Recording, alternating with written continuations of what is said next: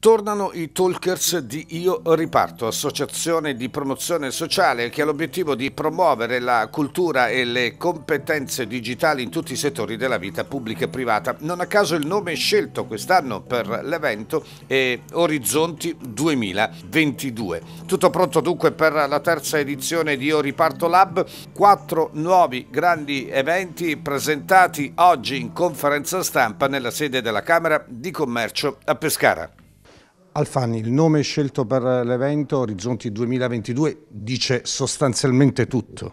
Sì, dice tutto perché noi siamo partiti il primo anno capendo eravamo in piena pandemia. L'orizzonte è un tema scelto perché l'orizzonte si sposta man mano che noi andiamo avanti. Ecco, c'è la necessità di colmare il gap no, digitale che frena un po' le istituzioni, ma anche i cittadini in generale.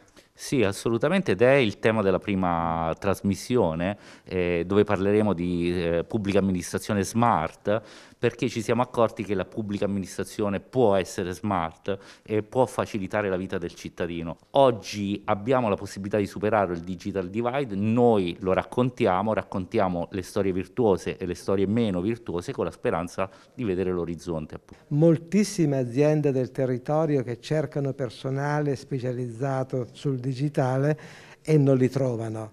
E poi ci ritroviamo una quantità di giovani disoccupati qualcosa non funziona. Bisogna che si prenda atto in maniera generalizzata delle, di tutte le istituzioni competenti che possono dare il loro contributo affinché si colma questo gap di da un lato mancano le, le professioni, le specializzazioni e dall'altro lato, ahimè, una quantità di disoccupati a far paura. Speriamo di avvicinare queste distanze. De Vita, colmare questo gap direi che è fondamentale. Si può in che modo, c'è ancora qualcosa che frena i cittadini in tutto questo? Quello che frena sono le competenze. Tutti dobbiamo lavorare sicuramente sul miglioramento delle competenze a tutti i livelli. Parlo di istituzioni pubbliche, parlo di imprese naturalmente, parlo di cittadini. Eventi come Io Riparto penso che siano molto importanti proprio perché diventano un laboratorio di idee, un confronto che serve proprio per aumentare quella cultura digitale di cui ha tanto bisogno questa regione e l'intero Paese.